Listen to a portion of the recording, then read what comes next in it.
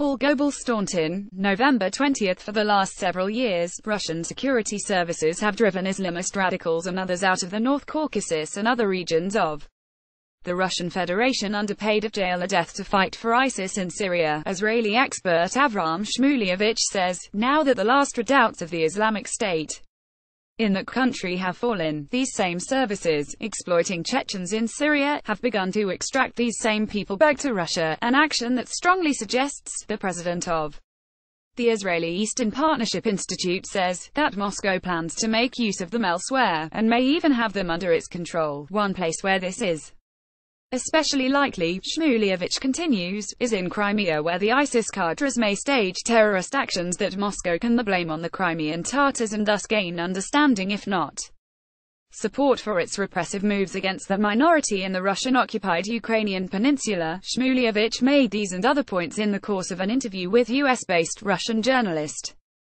Ksenia Kirillova, although he was careful to say that he did not have definitive proof for these possibilities but that Moscow's recent actions do not allow much room for any alternative conclusion. ru.crimea.coma2885818.html in the past, as in the run-up to the Sochi Olympiad in 2014, the Russian authorities have not even tried to conceal their role in pushing North Caucasians to leave and fight for ISIS, an effort the Russian media have suggested reduces the likelihood of terrorist actions within the borders of the Russian Federation.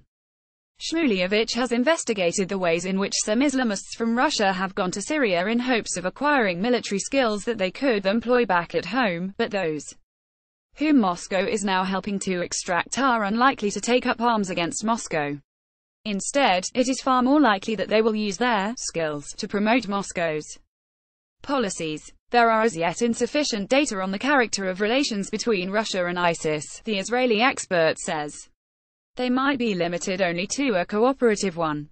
Based on common goals in particular places or they might be those of a creature of Moscow, especially if the Russian government follows Soviet precedents, the most likely places such people could be deployed would be in the North Caucasus and in Crimea, locations where Moscow would be delighted to organize violent actions that could be blamed on Muslims of another stripe entirely. The only real limiting factor, Shmulyevich says, is that Putin doesn't want to allow any terrorist action at all. The reason is simple the Kremlin leader portrays himself as the victor over terrorism in Russia and would not like to see that questioned as the election approaches.